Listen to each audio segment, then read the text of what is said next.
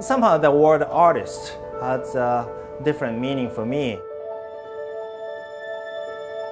Craftsman is uh, you have the skill to make something better than most people.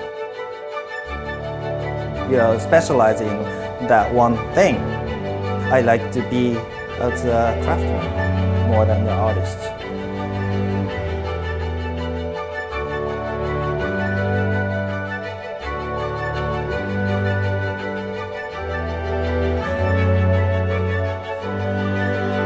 らっしゃいませ."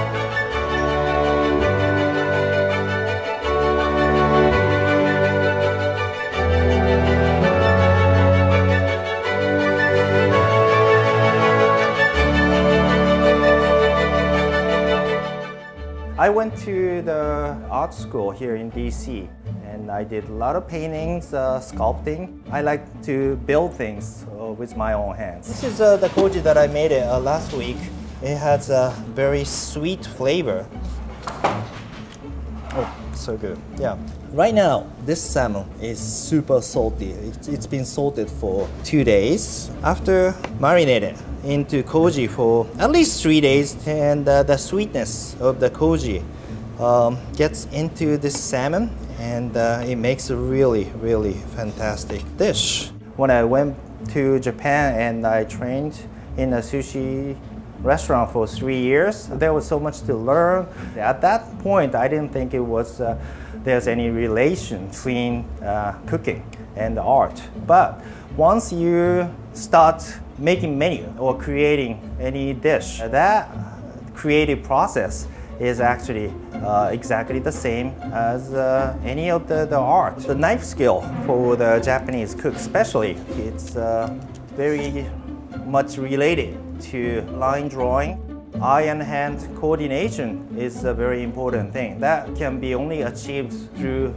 the repetition of the sketching and the drawing lines on the paper, you know, thousands of times. And slowly it becomes part of you. It's exactly the same with the knife. It's a wild bluefin tuna. The tuna uh, preparation that we do here is not normal, I would say. It's more like similar process as a charcuterie. Salted first, then air dried. So we have uh, dried tomato. This is from uh, Italy. It absorbs more of the tuna moisture and uh, then bring out the tomato flavor into the tuna. And I use uh, inside part of the dried tomato I would say uh, after a month, it, it started to really develop the flavor. We, we've done it more than like 60 days and uh, it, it's still good. It turned out to be this dark and not very appealing for sure. Uh, but the taste is uh, quite awesome. So not just here, but in Japan, crab is always very, very popular. We use uh, Atlantic deep sea red crab, which is not very popularly known here, uh, even though it's uh, locally sourced. So we started using uh, like you know five, six years ago, and we just really love the, the flavor, the looks of it. You know, like everything else, we, we like to be unique, and the red crab just fit that bill. They, they have to be alive before uh, it's cooked because uh, once they die, uh, the enzyme inside their bodies start to disintegrate. So if you have the crab that is dead for a day and you steam it exactly same as uh, the live crab, you get the different result. The meat is very mushy, doesn't have the flavor. That's why we like to use a live crab. Sushi Taro has been here for 33 years.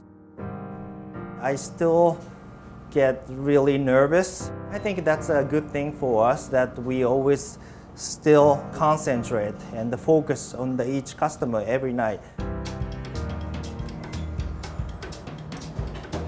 Sashimi style of the turtle liver. Snapping turtle soup. This dish is koji pickled salted salmon and the daikon radish. This dish is a red crab leg that's marinated in jalapeno infused soy sauce, sashimi style. Tomato cured dry aged tuna with basil oil, a little bit of salt, and crushed dry tomato. This is Japanese traditional osechi style box.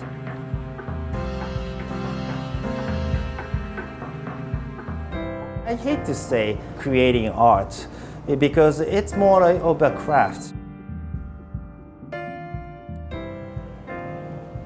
Atlantic deep sea red crabs, steamed meat, put it back in the shell with uh, its own mustard sauce underneath and topped with uh, mitsuba leaf.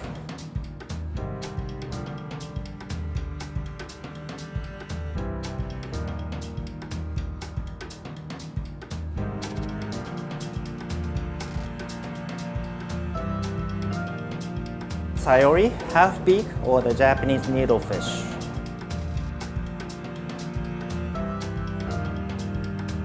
Japanese saba, cured with salt and sugar and then pickled in vinegar lightly.